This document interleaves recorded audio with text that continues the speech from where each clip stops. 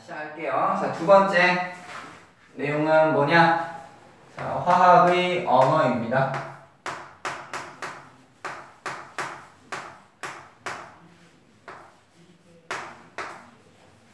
그러니까 시작에 얘기했듯이 이제 랭귀지, 언어잖아. 언어니까 기본적으로 의사소통이 가능해야 돼.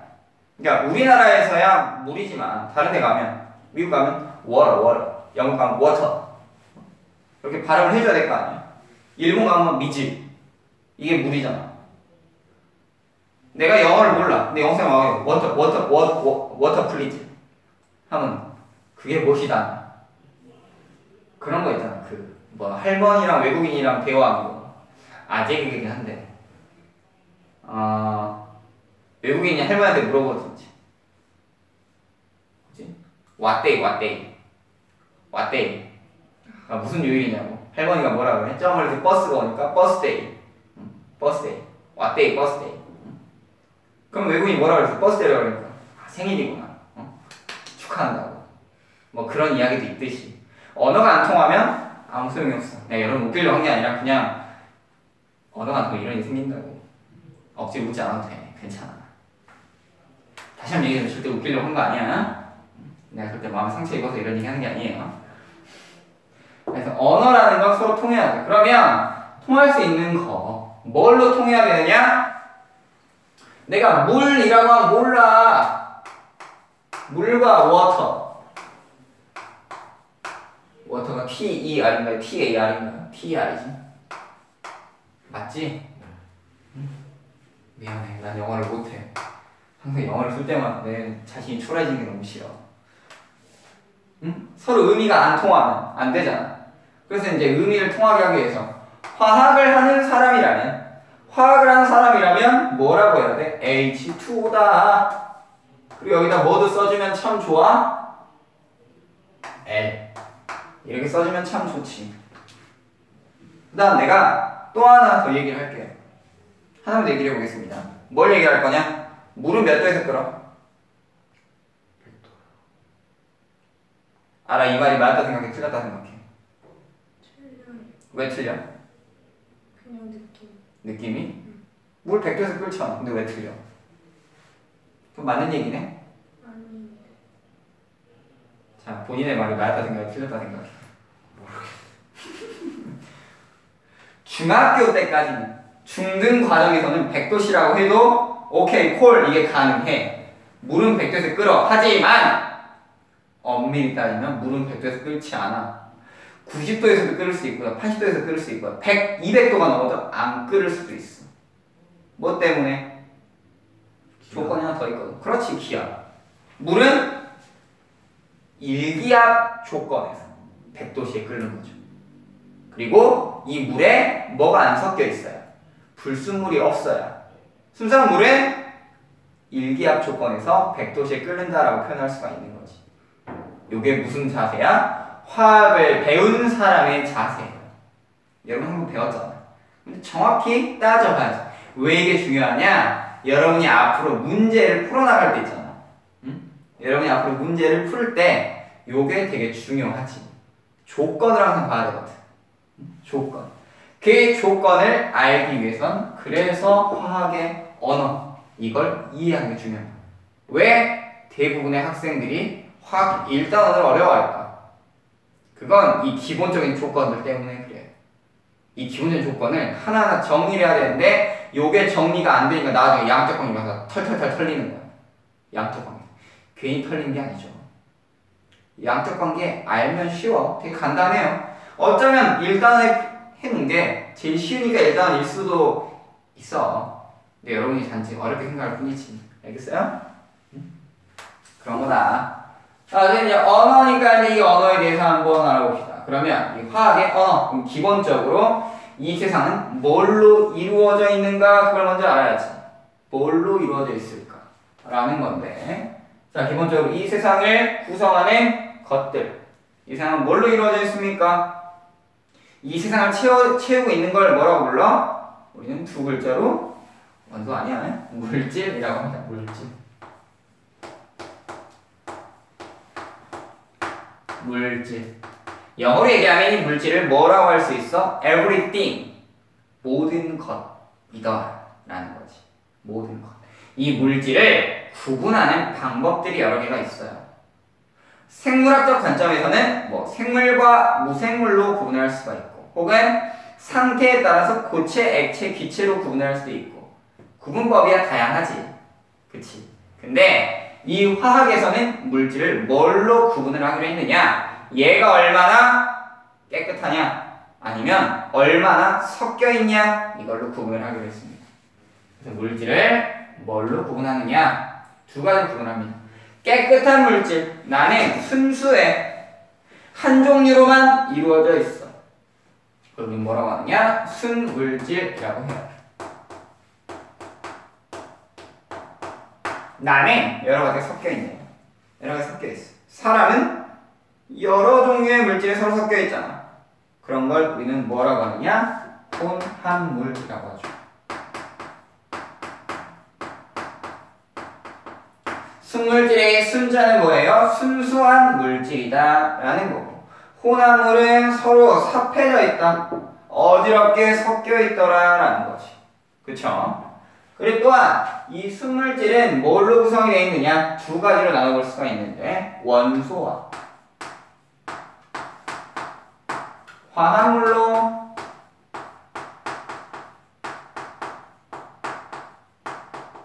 나눌 수가 있는 거죠. 원소 화합물로 나눌 수가 있더라. 이 원소를 다른 말로는 홑 원소 물질이라고 하는데 구성하는 원소의 종류가 몇 가지다? 한 가지다. 그럼 화합물은 구성하는 원소의 종류가 두 종류 이상인 걸 화합물이라고 하겠지. 하지만 하나의 결정 구조를 이루고 있든가 아니면 분자 구조를 이루고 있는 물질이지.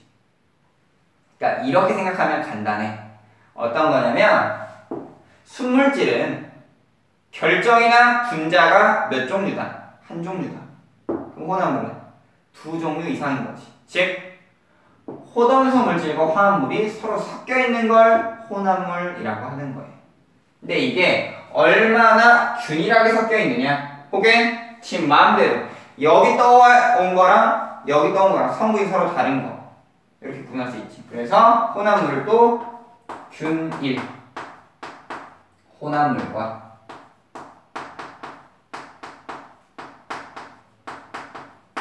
불균일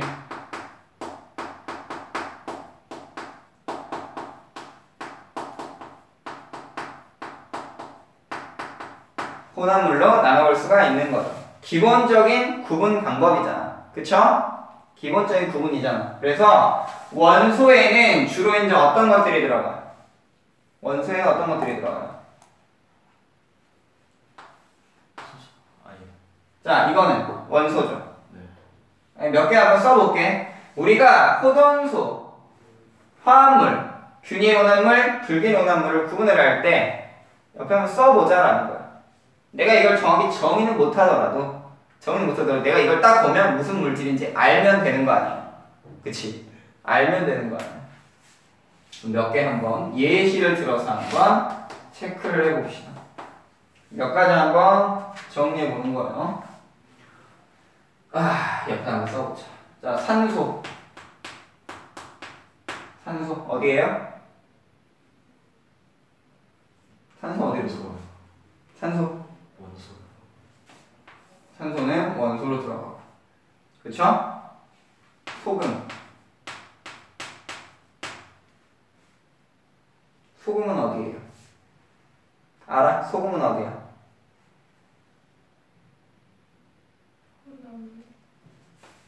혼합물? 화합물이죠, 화합물. 소금은 어떻게 돼 있어? NaCl이잖아. 그쵸? 응? 두 개의 이온이 결합한 결정 구조를 이루고 있죠. 이온 결정이죠? 이온 결정을 이루고 있습니다. 그 다음에, 어, 식초. 여러분이 약간 헷갈릴 만한 거예요. 식초는 뭘까? 식초는 뭘까? 식초는 뭘까요? 잘 생각해야 돼. 함정에 빠지지 마. 뭘까? 식초는 뭡니까? 식초 뭐야?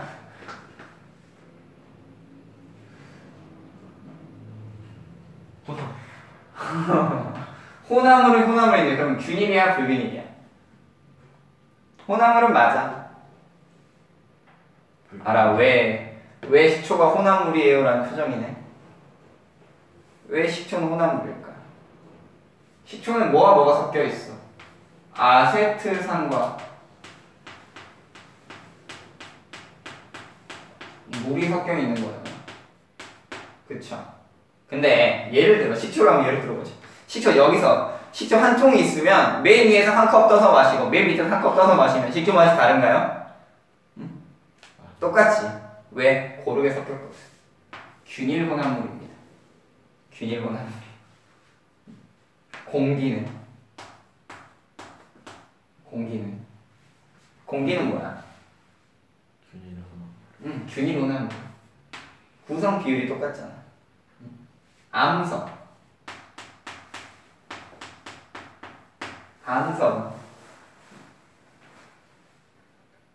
불균일 호남. 불균일 혼합물.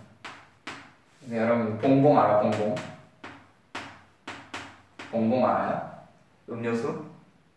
봉봉. 포도알 들어있는 거. 이건 균일일까 불균일일까? 이건. 이건 불균이죠. 왜? 알맹이가 가라앉아 있잖아. 그래서 이렇게 생각하면 돼. 혼합물이 균일이냐 불균일이냐 요거를 구분하려면 뭐 하면 되냐면 내가 이 음료수를 흔들어 먹느냐 아니면 그냥 마시느냐 요것만 구분을 하세요.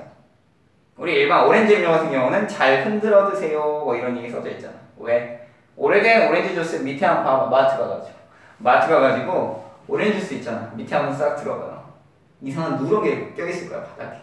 가라앉아 있을 거야. 이건 상한 게 아니라 제대로 안 섞여있기 때문에. 그래 섞어서 마셔라 하는 거지. 갈아 만든 배. 불균일 혼합 물이잖아. 상표건강 만드는 응? 그쵸? 구분할 수 있어야 돼요? 마지막 하나 해봅시다. 헷갈릴 만한 게 뭐가 있을까?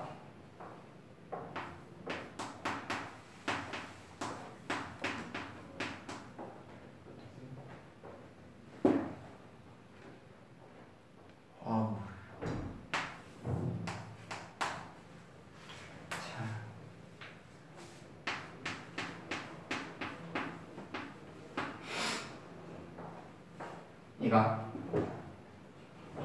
이건 뭘까? 이건 뭐예요? 어디에 속할까? 어디에 속할까 이거? 화물. 네 이럴 줄 알았지 균일 혼합물이죠 왜? 요 AQ는 뭐야 AQ는? AQ가 액체요? 언제부터? 아니고. AQ 언제부터 액체였어? 알아 AQ 뭐야 AQ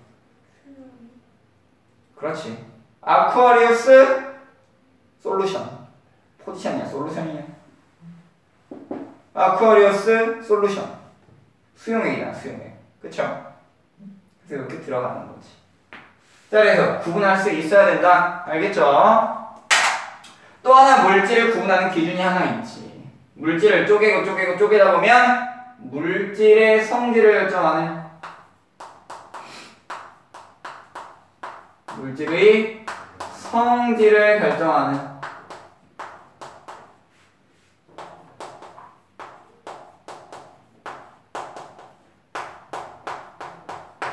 가장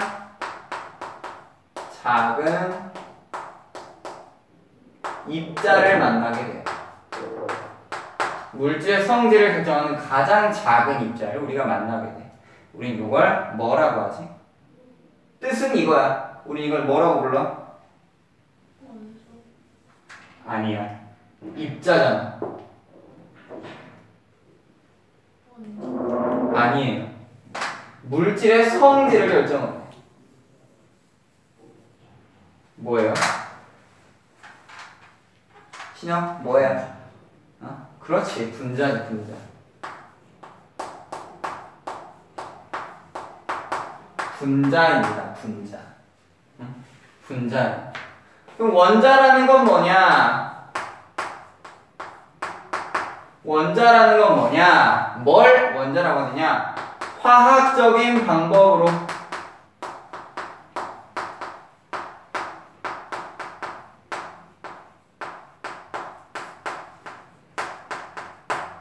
더 이상 쪼갤 수 없는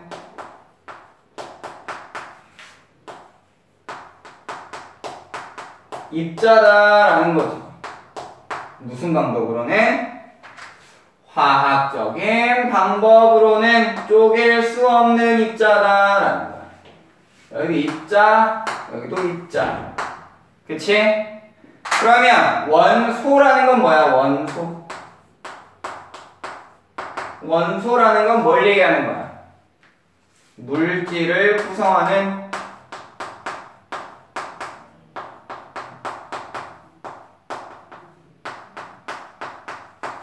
기본 성분이 되는 거지.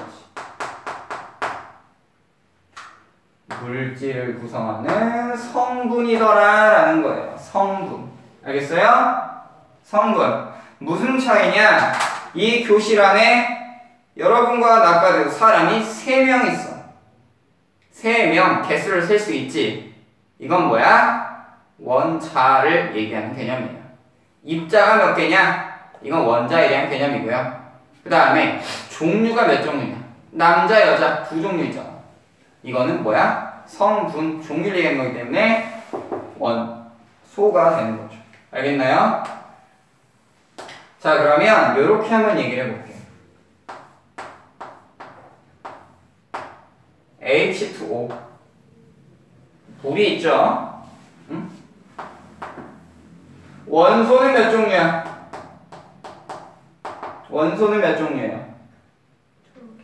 음, 두 종류.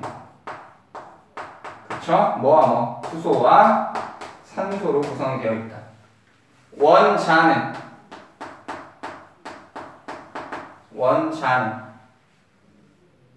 three. 그렇지 세 개지.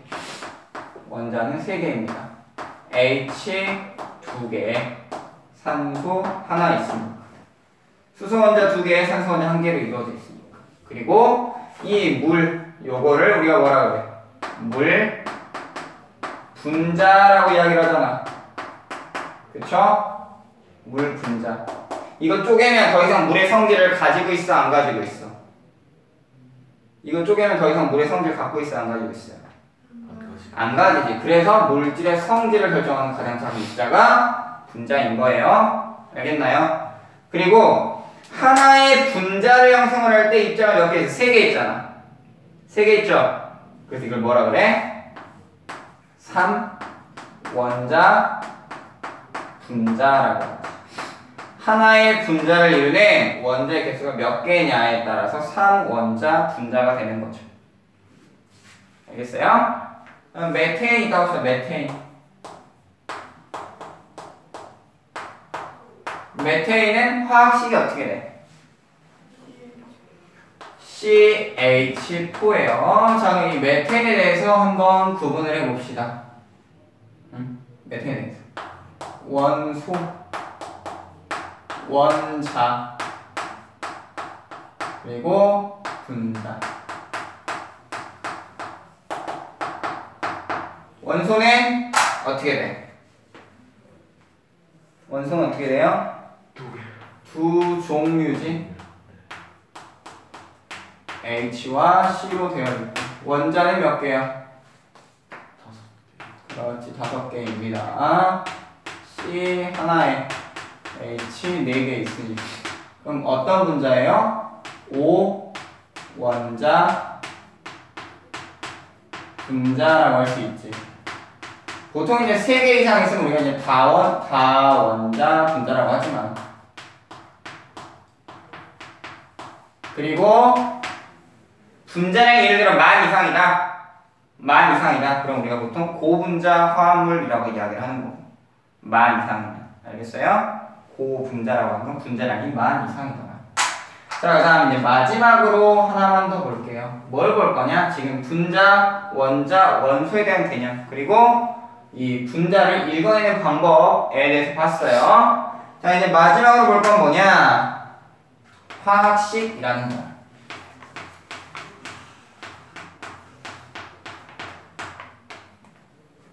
화학식이라는 거. 화학식이라는 건 뭐야? 물질을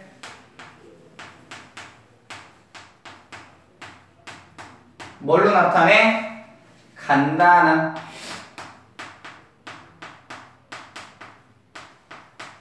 간단한 기호 원소 기호와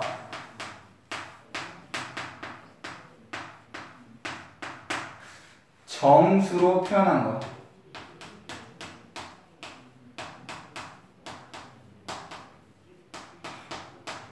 이걸 우리가 화학식이라고 하죠.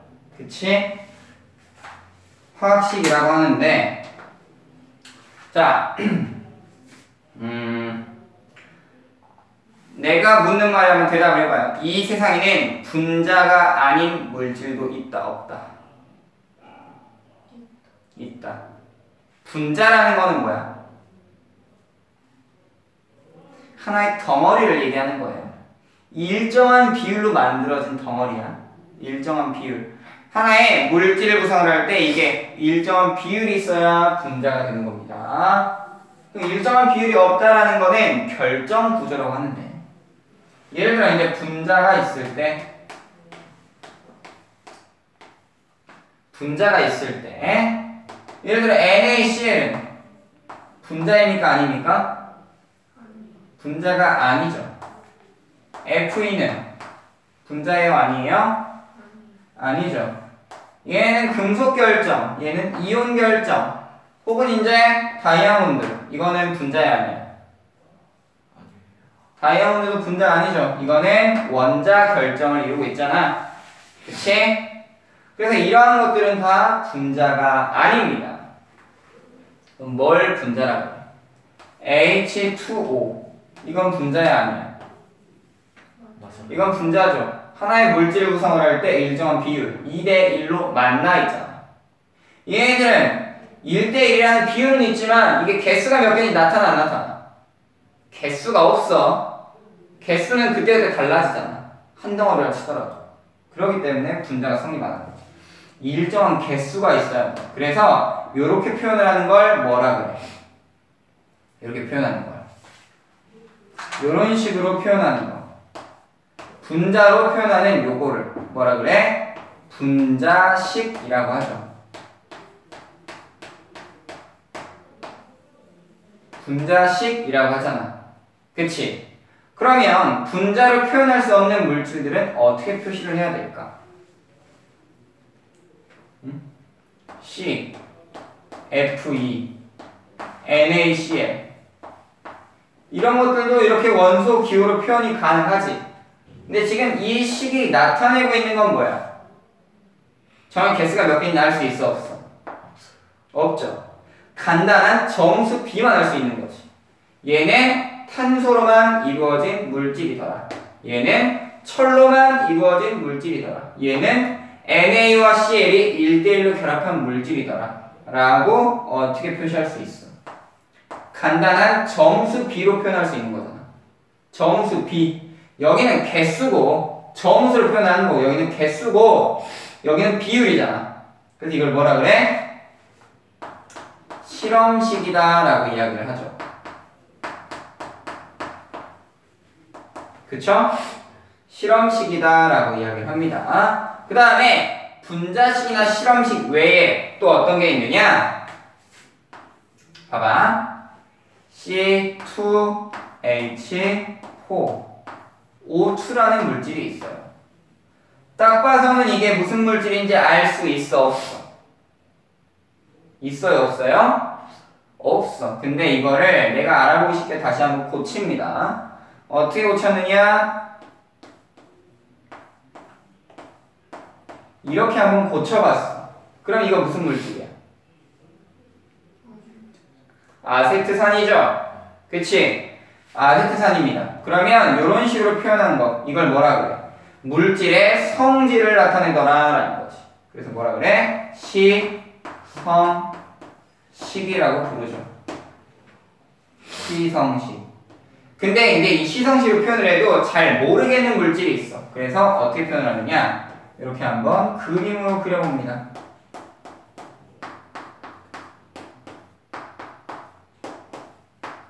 이렇게 하면 물질의 대략적인 구조를 파악을 할 수 있죠. 결합선과 구조를 볼 수 있는 식. 이걸 뭐라 그래? 구조식이라고 부르는 거지. 물론 이거 네 개만 있는 게 아니고 여러 가지가 더 있어요. 물질 표현하는 방법이야. 알겠어요? 응? 그렇게 볼 수가 있는 거다라는 겁니다. 이해되죠? 어? 이해되죠? 자 이제 마지막으로 마지막으로 하나만 더 보도록 할게요. 마지막으로 하나만 더 볼게요. 이제 전체로 이제 한번 정리를 해보고자 하는데 정리 한번 해봅시다. 자 어떤 물질이 있는데 C, 5, H, 10, O, 5야. 이런 물질이 있다고 합시다. 쭉 한번 총정리를 해봅시다. 총정리. 자, 먼저 원소는 몇 종류야? 원소는 세 종류로 이루어져 있고 원자는 몇 개예요? 원자는 몇 개야? 그 20개죠. 그러니까 이제 표현하자면 20원자 분자라고 얘기할 수 있고 그냥 다원자 분자예요. 분자로 되어 있어. 분자로. 55로 되어 있다는 얘기는 뭔 얘기냐면 정수비가 아니잖아. 정수비가 아니잖아요. 그래서 얘는 분자라는 걸 알 수가 있고요. 그 다음에 그러면 분자식으로 표현하면 분자식은 어떻게 생겼을까? 분자식은 어떻게 돼요? 이거. 분자식 어떻게 돼? 저대로 그렇지 이대로예요.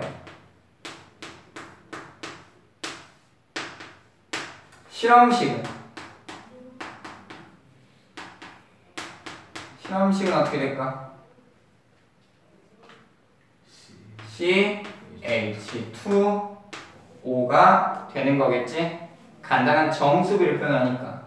그 다음에 시성식은 아무래도 좀 나타내기 좀 까다로울 것 같고 구조식을 그려보자면 이런 구조를 가지고 있습니다. 이런 구조. 여기 CH2OH 이렇게 생겼어요.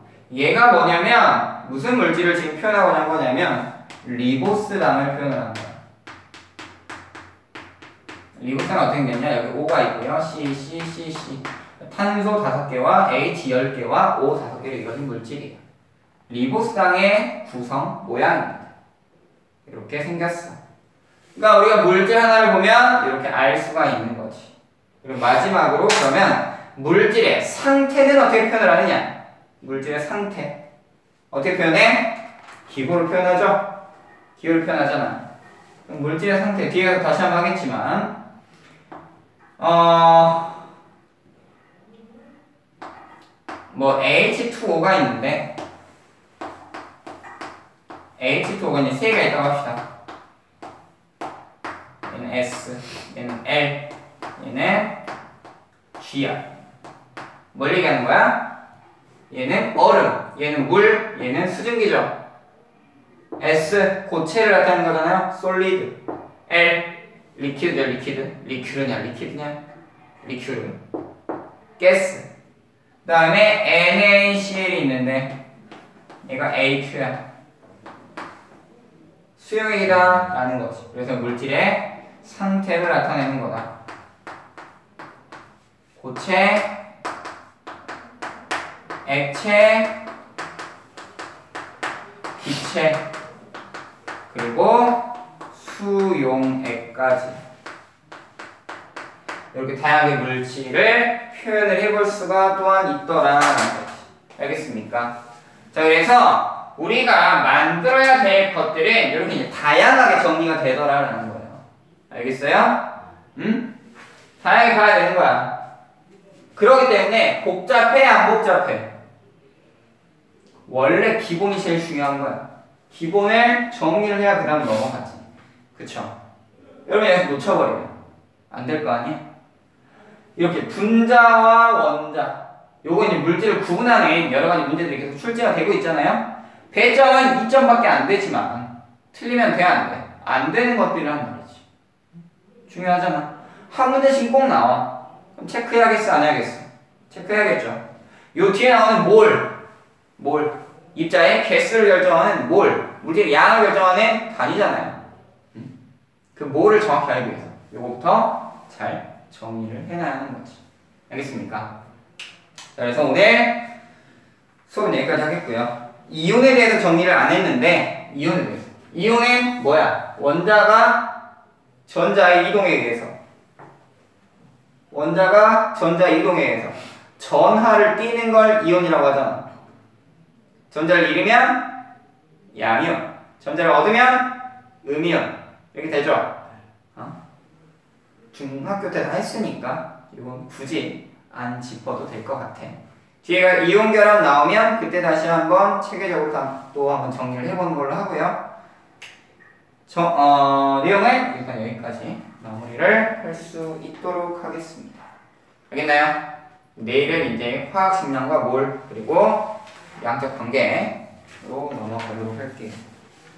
수고했습니다.